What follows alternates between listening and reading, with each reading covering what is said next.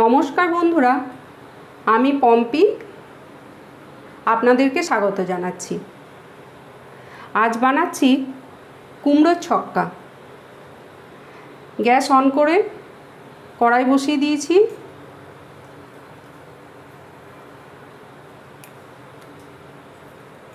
দিয়ে দিচ্ছি দুই টেবিল স্পুন সর্ষের তেল।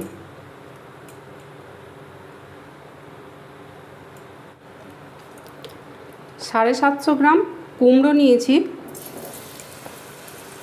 কুমড়োটা আগে ভেজে নিচ্ছি। কুমড়োটা আগে হালকা করে ভেজে তুলে নেব। দিয়ে দিচ্ছি অল্প লবণ।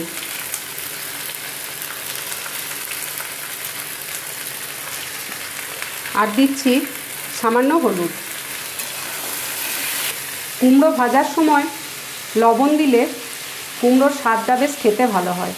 তাই ভাজার সময় অল্প একটু লবণ দেবেন। আর গ্যাসের আঁচটাকে মিডিয়াম রাখবেন। কুমড়ো ভাজা ভাজা হয়ে গেছে। এবার কুমড়োগুলো আমি তুলে নেব। হালকা করে ভেজেছি। কুমড়ো যেন গলে না যায়, সেরকমভাবে হালকা করে ভাজতে হবে। মিডিয়াম আছে, ভাজতে সময় লাগল ছয় থেকে সাত মিনিট। ছয় থেকে সাত মিনিট সময় লাগল মিডিয়াম আছে, কুমড়োটা ভাজতে। কড়াইয়ে এখনও তেল আছে ওয়ান টেবিল স্পুন মতো তেল আছে। আমি এর মধ্যে আরও এক টেবিল স্পুন তেল দিয়ে দিলাম। এই রান্নাটা খুব পুরনো দিনের রান্না। সাবেকি রান্না। এই রান্নাটা সর্ষের তেলে করলেই ভালো হয়। এবার আমি দিয়ে দিচ্ছি ফোড়ন। একটি শুকনো লঙ্কা, একটি তেজপাতা পাঁচ ফোড়ন আছে ওয়ান ফোর স্পুন আর নিয়েছি একটি এলাচ।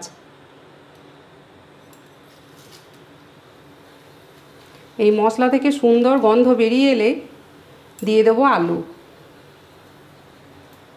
দুটি মাঝারি সাইজের আলু নিয়েছি, বড় বড় পিস করে কেটে নিয়েছি, ডুমো ডুমো করে। এবার এটা দিয়ে দিচ্ছি তেলের ওপর।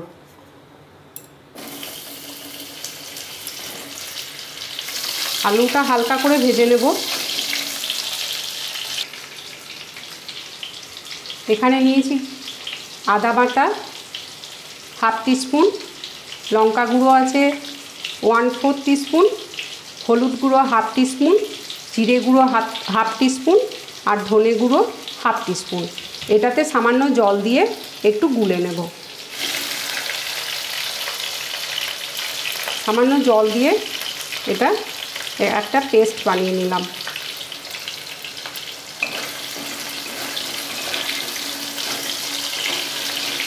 আলুগুলো হালকা করে ভাজা হয়ে গেছে। এবার আমি এই জল দিয়ে গোলা মশলাটা দিয়ে দিচ্ছি। এই রান্নাটা সম্পূর্ণ নিরামিষ রান্না। পেঁয়াজ, রসুন ছাড়াই এটা করছি।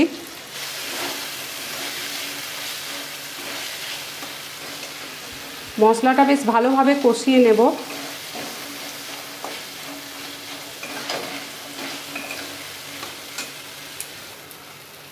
এই বাটি ধোয়া জল একটু দিয়ে দিচ্ছি মশলার ওপর।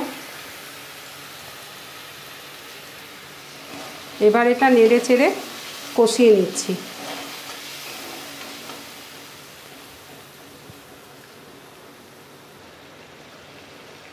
অল্প আছে। মশলাটা কষিয়ে নিয়েছি। খুব সুন্দর তেল ছেড়েছে মশলা থেকে। এবার আমি দিয়ে দিচ্ছি ছোলা, সেদ্ধ ছোলা।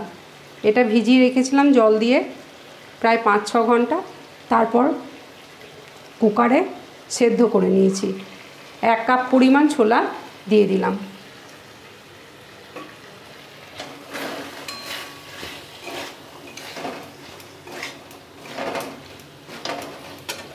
এবার দিচ্ছি নারকেল কুচি। বড় চামচের এক চামচ নারকেল কুচি দিলাম। এবার এটাকে ভালোভাবে মিশিয়ে নেব মশলার সাথে। দিয়ে দিচ্ছি লবণ। কুমড়ো ভাজার সময় লবণ দিয়েছিলাম, সেটা মাথায় রেখে আন্দাজ মতো লবণ দিলাম। অল্প আছে, আবার বেশ খানিক্ষণ কষিয়ে নেব। এবার ভেজে রাখা কুমড়োগুলো দিয়ে দিচ্ছি।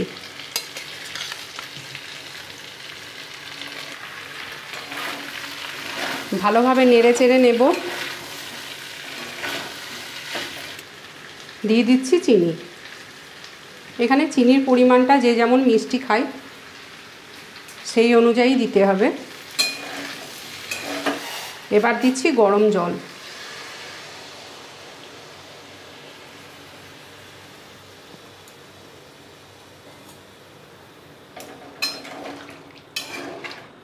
গ্যাসের আঁচ বাড়িয়ে দিলাম, একটা ঢাকনা দিয়ে দিলাম।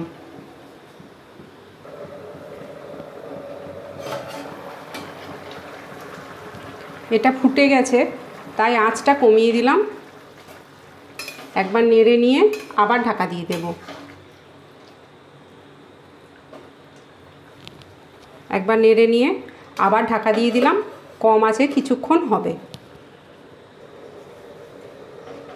ঢাকনা খুলে নিচ্ছি।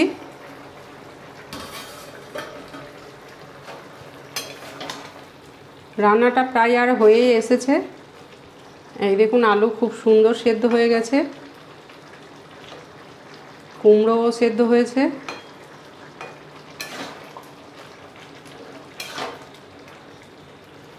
এবার চারটে কাঁচা লঙ্কা দিয়ে দিলাম। দিয়ে দিচ্ছি ওয়ান টিস্পুন ঘি।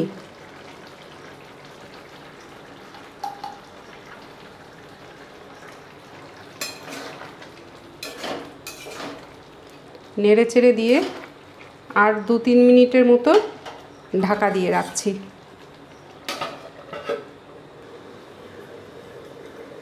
ঢাকা খুলে নিচ্ছি।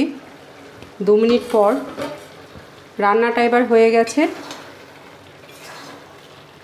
এবার গ্যাসটা অফ করে দিচ্ছি।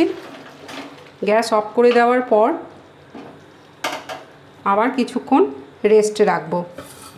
ঢাকনা দিয়ে দু তিন মিনিট রেস্টে রেখে তারপর সার্ভ করব। এই দেখুন, তৈরি হয়ে গেছে কুমড়োর ছক্কা। এটা সম্পূর্ণ নিরামিষ তরকারি, তাই এটা যে কোনো ব্রত উপবাসের দিনেও খাওয়া হবে। এটা লুচির সাথে খেতেও খুব ভালো লাগবে বা রুটি পরোটার সাথেও খেতে খুব ভালো লাগবে। আপনারা এভাবে বানিয়ে দেখুন, এটা খুব পুরনো দিনের রান্না, সাবেকি রান্না। এভাবে আপনারা ট্রাই করে দেখুন, খেতে খুব ভালো লাগবে। আর ভিডিওটি ভালো লাগলে অবশ্যই একটা লাইক করবেন, ভিডিওতে কমেন্ট করবেন। আর যদি সাবস্ক্রাইব করে না থাকেন তাহলে এই চ্যানেলটিকে সাবস্ক্রাইব করুন। ভিডিওটি দেখার জন্য আপনাদেরকে অনেক ধন্যবাদ।